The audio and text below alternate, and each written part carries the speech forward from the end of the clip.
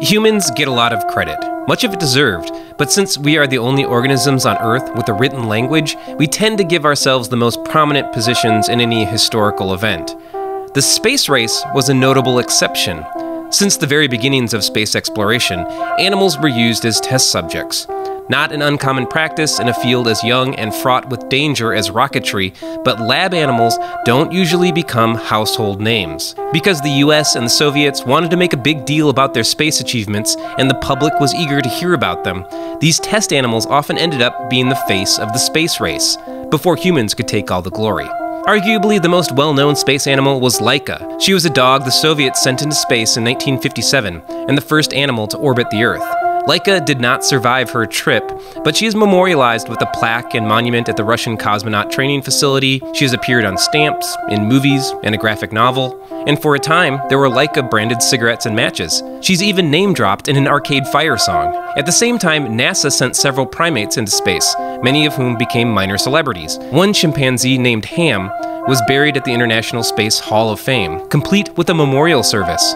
Anyway, animals have a long and celebrated history in the development of spaceflight, so it shouldn't be too surprising that the first Earthlings to reach the moon and safely return weren't human. They weren't primates or dogs, they were two Russian tortoises. But they have no monuments in their honor, much less an arcade fire song. They were given no glorious funeral, and their names aren't memorialized in the elite pantheon of space explorers.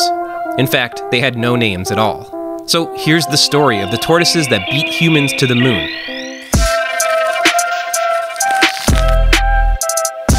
This was in 1968. The race to the moon was on its final lap, and the Russians were about to lose. For so long, the Soviets had held the lead in the space race. They had sent the first satellite into orbit, got the first man into space, conducted the first spacewalk, and landed the first spacecraft on the moon. If everything had gone to plan, the Soviets would have orbited the moon in 1967 and landed in late 1968, easily beating their American competition. But a series of rocket failures, mechanical issues, and a lack of funding kept pushing their timeline back. Now it was September 1968, and they were no closer to getting there. Just the year before, the first human fatality during spaceflight occurred when the parachute on a reentry vehicle failed to open. Cosmonaut Vladimir Komarov was killed on impact. After that, the Soviet rocket scientists had to face the fact that their spacecraft weren't quite ready for human occupants but that didn't mean they couldn't use Russian tortoises. At first glance, these sedentary, slow moving reptiles seem like unlikely cosmonauts. Russian tortoises spend much of their time searching for food or mates, and not much else. In fact, in times of extreme cold or heat or scarcity of resources, the Russian tortoise often spends nine months out of the year in estivation. For an organism with a lifespan of 40 years or more, that's not a negligible chunk of time spent asleep. Anyway, if these two tortoises had lived a life more typical of their species, they would have had a long and almost entirely uneventful and largely inactive future to look forward to. But fate and the USSR had something else in store. The mission was designated Zond 5. It would be the third attempt by the Soviet space program to circumnavigate the moon. It wasn't without its dangers for the tortoises. Exploding was not an uncommon occurrence in the Zond program. Several missions had exploded before even reaching outer space. Above all, both Soviet and American scientists weren't completely convinced that a trip through the Earth's radiation belts and the cosmic radiation of space was entirely survivable. How the tortoises fared would give them a better idea. So the chances of success weren't great, but the tortoises had a couple things going for them. They were pretty small. Russian tortoises rarely grow larger than a classic birthday cake. That meant they wouldn't take up much space or add much mass to the launch vehicle. They were endemic to Central Asia and popular in the pet trade. Soviet launch facilities just happened to be situated in the middle of the Kazakh desert, smack dab in the tortoise's home range. Therefore, they could count on a steady supply of Russian tortoises to be readily available. So, in September 1968, Zond 5 and its crew of Russian tortoises were ready for launch. They sat in the spacecraft for 12 days, completely restrained, without food or water.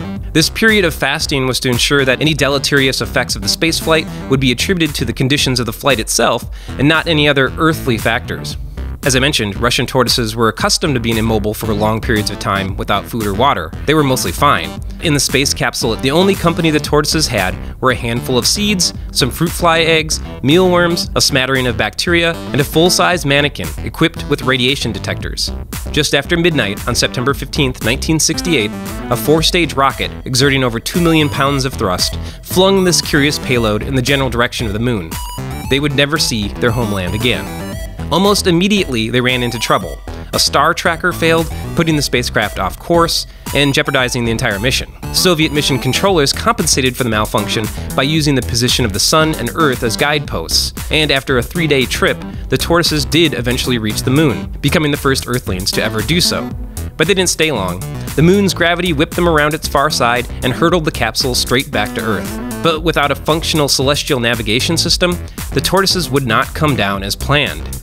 Instead of landing in Soviet territory, they were now on a course that would have them re entering the Earth's atmosphere somewhere over the Indian Ocean in the dead of night. Their angle of reentry was much steeper than mission controllers projected, so for the duration of their descent, the tortoises would experience upwards of 20 Gs of force. For a human, that'd be like having a mid-sized sedan sitting on your chest. Thankfully, you'd only really experience this for 10 seconds or so before passing out and dying, so the Zond 5 mission would have been fatal to any human crew members. The tortoises, on the other hand, did just fine. Whether it was their small mass or their compact size, or the fact that they are covered in a hard shell, the extreme forces of reentry had little effect on them. It could very well be the case that Russian tortoises are more suited for the rigors of space exploration than us delicate humans. Anyway, after four days, the spacecraft was recovered, and after 12 days total, the tortoises were finally removed from the capsule, alive and pretty much alright.